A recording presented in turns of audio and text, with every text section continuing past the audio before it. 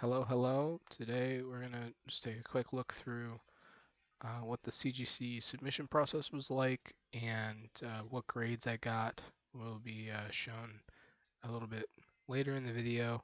I'm going to be running through the submission and kind of the timeline and, and uh, what to expect, what the service is like now that they're, you know, they've merged with uh, that other grading company or their sports cards and trading cards are the same now. Um, all CGC and then the new labels too. Um, so let's get this started. So I submitted this order um, August 23rd, I believe.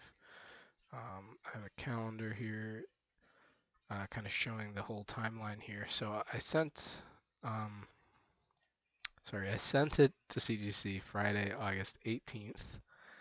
Uh, the submission is as follows these six cards. Um, I did the economy tier, which is $20 a card, you know, plus there's the return shipping right there. And uh, to ship the cards to them was also around uh, 20 to $22, somewhere around there, maybe a little bit more. I did um, USPS and um, I put signature required and I insured it for the value of the cards. Technically, you don't have to do that when you send it to them, but um, you know, I thought that some of these cards were going to get good grades, so I kind of factored that in to the value a bit. Um, so yeah, so this process is pretty straightforward. As long as you know uh, you know, you just look up the value of the card, see what they're going for, put the declared value. Uh, when you're typing in each uh, card in the submission process, make sure that it matches the card that you're submitting, like the, the label here. Um, actually, we could probably show that if we were to start a new order here. Uh, we want grading. Okay.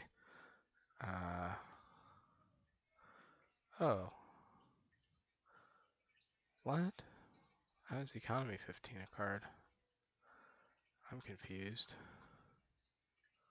Did I pay more than I should have? Oh, it is 15. Okay. I guess I had 20 in my head. Sorry about that. it is 15. Um, yeah, you click add card, you look up the card. Um, so in this case, you know, you want to find your card in here based on the year, the name, the number. Um, if you look up other cards graded by CGC of that card, you can find that pretty easily. Put in the value, add card. You kind of build your list, which is uh, that's what this is here. Um, and yeah, that part's pretty straightforward. Once you have this, you then have to print out um, they'll give you the packing instructions and you print the packing slip and you put the packing slip in the box with the cards. You pack the cards in uh, kind of, um, uh, let me switch to the desk cam here. Um, let's say I was sending this card and uh, this card is just what I have laying around. Uh, you would put these two, you know, you want to use a card saver, you want to use sleeves, uh, sometimes it's even nice to put a pull tab. I didn't because I don't have them. Um, but you have these two cards, and then you want to put a piece of cardboard that is the size of the card savers. You can kind of just cut out a piece of cardboard, and you put a cardboard piece here, cardboard piece here, and a rubber band around it to uh, keep it all together. And then I put bubble wrap surrounding that, put it in the box, put the packing slip in there, uh, send it to the address that is um, you know, described here if you're shipping USPS, and then UPS or FedEx, there's a different address for that. So uh, I followed that process, and sorry about uh, maybe some construction noises. I followed that process, and um, let's just take a look at the timeline here. So I sent it to CGC. This is when I shipped it out. It was like Friday afternoon. Um, my tracking number for that package um, actually, let me switch back to desktop view here. Um, Yeah, I sent it to CGC on, on Friday, August 18th. Uh, Monday, it was showed delivered um, in USPS, and the tracking number showed delivered that it was picked up and signed for. So I knew that they had, um, you know, kind of received it at that point. And then August 23rd, it was marked received in the um, like you can look at the current status of your order, but uh, it wasn't really updating great. Um, so you can see here um, received, submitted cards have been counted, entered, and um, yeah, so that they were just kind of received. Uh, August 23rd, they kind of sat there for uh, not too long actually, and then um, all of a sudden here on the 28th, we've got scheduled for grading. Uh, that means that it was uh, described in detail, unique identification numbers, and it's like getting ready to be graded. Um, everything else here in this process was never updated, really. Um, as you can see, you know, uh, they received it here. So if we started counting the days, when I submitted, it was only a 15 day turnaround, supposedly. And I, I assume that's from the time they received the cards to the time they shipped the cards. So 15 days would have been, uh, let's say, 1, 2, 3, 4, 5, 6, 7, 8, 9, 10, 11, 12, 13, 14, 15. So right around here, we should have um, had the cards like graded and shipped back. Although there was a holiday, so maybe like here because it's by business days. But um, around like this week here, the uh, the turnaround time slipped to 20 days. So then if we, if we add another, you know, we were around here, we add one, two, three, four, five. Okay, now we're at you know that um, 20 day, 20 business day turnaround. And uh, as you can see from the time it was received, August 23rd, I got it a month later. So you you know you may be um, you see the 20 days and you think oh that's not that long, but uh, yeah it because of weekends and holidays and, and things like that it is going to be a little bit longer. Um, now the weird thing here is um, scheduled for grading and then I just checked it every day for you know, three weeks. Just, you know, uh, what's going on, guys? And then all of a sudden, um, three days ago on Thursday, it was marked graded online. And then um, the cards just showed up Saturday. Uh, this was yesterday, August 23rd. They just showed up. Or, sorry, September 23rd. Jesus. Uh, they, they, they just showed up. I never got a tracking number. It was never marked shipped. Um, you know, and once it was like graded, I was like, oh, can I look up what the grades are? And uh, and you read into here, and you won't get um, any information supposedly uh, until it's shipped. But uh, my order was never marked shipped.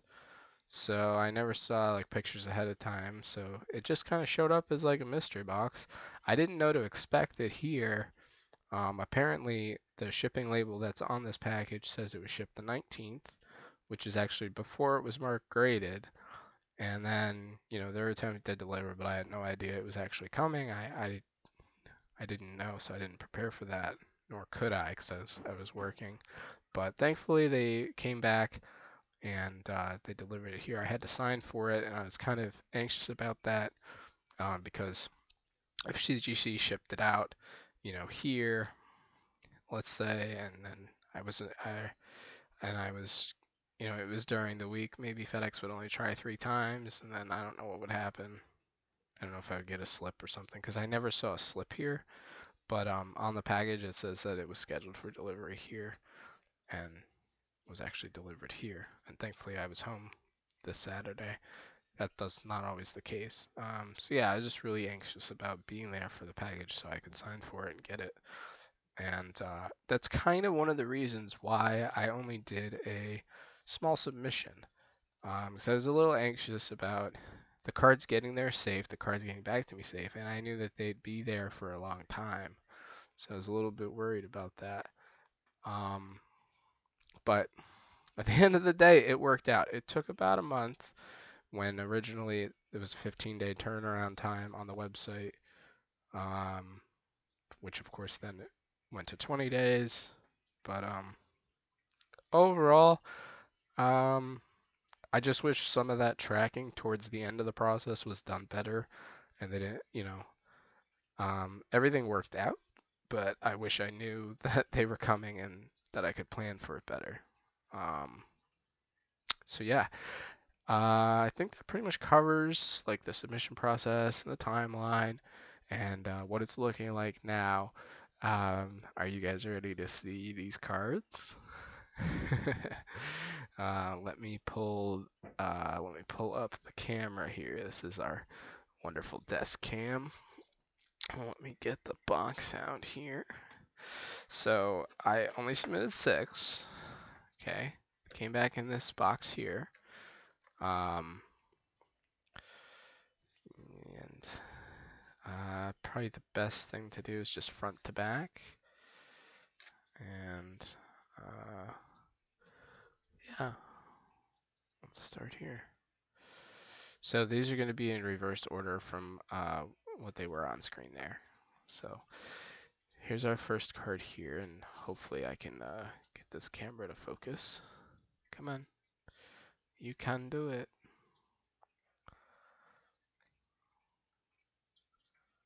Okay, it's apparently not focusing at all. Nope, that's not right. Hey, there we go. Okay. all right, so things that I looked for in a card. Um, I was looking for relatively good centering, and I wanted to. Um, I made sure that there was no whitening. That was also very important to me. Um, I wanted the submission to be like a very good submission. Um, it's not as like clean as you would expect for like a brand new slab, but that's okay. It's, oops, just some box dust and stuff. But um, as you can see, you know these these cards I I sent them were in you know basically perfect condition. Um, I don't know like what the subgrades would have been. Um, because there was something that wasn't perfect. I mean, I guess the uh, centering was pretty good on this, so I don't really know. Um, and it was kind of like a fresh pull, and I don't really see any surface issues, so um, I'm happy with the 10 though on that. So that was that was really nice. This one, I was really surprised that we pulled a 9.5. Um, so I actually bought the deck uh, for this, which is kind of wild. Um, I think the deck cost me like $120. I picked it up at an auction. And when I opened the card, I was like, the holo's really nice. I mean, it, it's, you know, the, the surface was in good condition. The centering is pretty good. Um, you know, it wasn't exposed or anything, so there's really no fading. Um, this is from 2005 and uh, the back was basically perfect, but there was one little nick in the bottom right where there was a little bit of whitening. Um, and that's just because of like how it was on the deck, and um, then there's like some fuzzies there in the top right. So it wasn't perfect, but it was fresh out of a deck box. Um, so I was, I was, I thought I was maybe gonna get a nine, so I'm pretty happy with the nine five. This is a new nine five, so it's not a 10. It is a 9.5. Um, but that's pretty exciting to get vintage in a high grade like that. Speaking of vintage in a high grade, um, I picked up this. Uh, I think I might have spent like around $120 on it. It's probably worth about 160 This was a, a near mint Scyther EX from 2004. A little bit of box dust on there. I looked at this card and I was like, this thing is absolutely gorgeous. Um, basically pack fresh. There was uh, really no nicks on it, honestly. I, I think it could have gem 10 um, I know some people talk about how uh, they don't want to submit like vintage and modern in the same order because of the you know the grading like they they don't I don't know. I don't really know much about it. This is my first submission, but I have seen online people talk about um, not submitting modern and vintage together or Japanese and English together. I didn't really follow that. Uh, I just kind of threw everything in there, and you know, it's a really high grade for a vintage card like this. Um, I do wish that it 10, but um, I'll take it definitely. Much like the the Dark Dragonite, I didn't I didn't expect a 10. Let's say this one I definitely expected a 10. Um, I picked this one up for about 50 bucks, which is about market. Um, I really I saw the centering on it. I was like, that's perfect. That's kind of hard to find. Um, I saw, you know, the back was absolutely perfect. There was no nicks whatsoever. So uh, for this to get a 10, that's perfectly deserved. 10. So really sick. I love this art. Um, also, the fact that it is in a 10, that usually makes it really hard to get a, a high grade. So um, that's also kind of like really nice.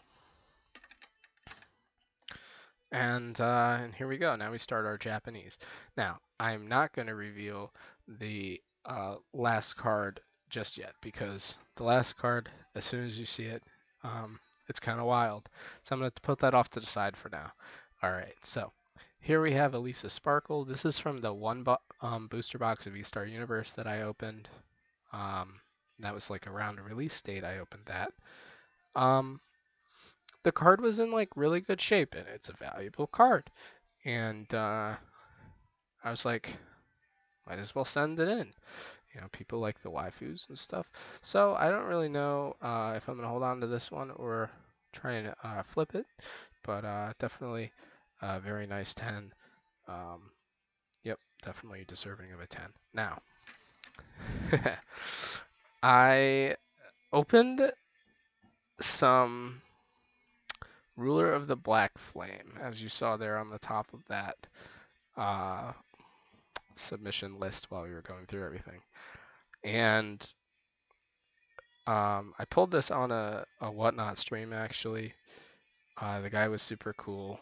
Uh, West Coast Exchange on Whatnot if you want to check him out.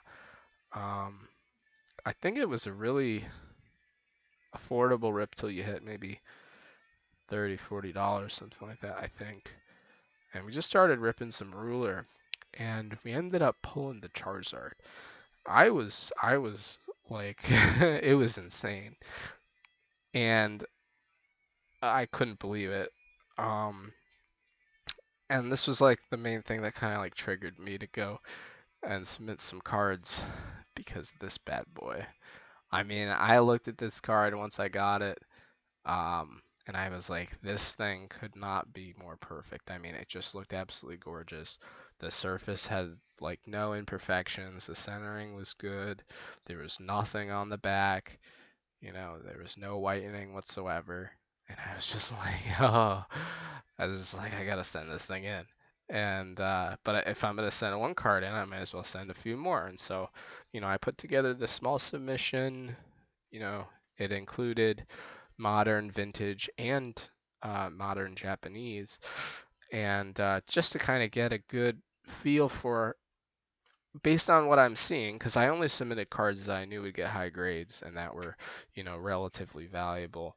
Um, so uh, because of that you know, we were able to we were able to do this like and get like really good grades nice and concise uh, uh could i have added more cards? Probably. It probably would have been nice to do 10 um i think that's what can fit in these boxes. I'm not not really sure. 1 2 3 4 5 6 7 8 9 10 11 12 they might do 12 or 10. Probably they don't do the end ones, so probably 10 slabs in there. And, uh, but yeah, I'm just I'm super excited. I don't know if this thing will focus again so that you can see all the cards together. Um, actually, I could take this off the mount too and just kind of hopefully, uh, hopefully show. I know there's a bit of a reflection there and whatnot, but um, it was just an absolutely amazing submission. I I was uh, speechless that I received it randomly and so happy with the grades that I received, especially as a first time submitter with CGC and you know, not not really making everything perfect, but somehow managing to get uh, good grades was just amazing.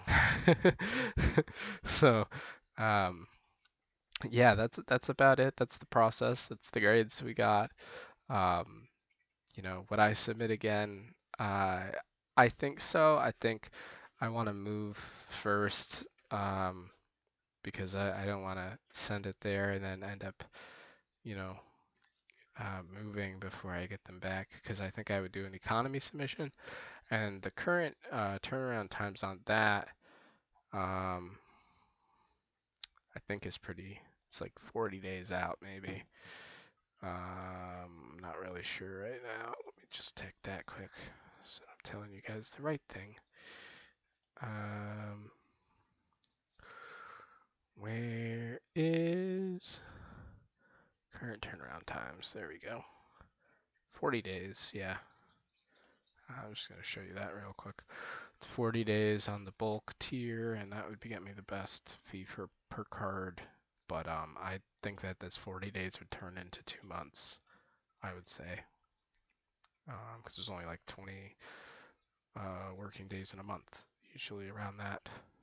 Um, plus or minus the shipping there and the shipping back. So, yeah, I think you're looking at two months there, and uh, that just run a little tight. So, I'm probably going to hold off for now, but I'm I was super excited to get the submission and uh, share this with you guys. So uh, thank you for watching. I hope you enjoyed. I hope you found this video to be useful. Um, and uh, that'll do it for now. So uh, Charizard's going to send us out here. Pristine 10. Alright, I will see you guys.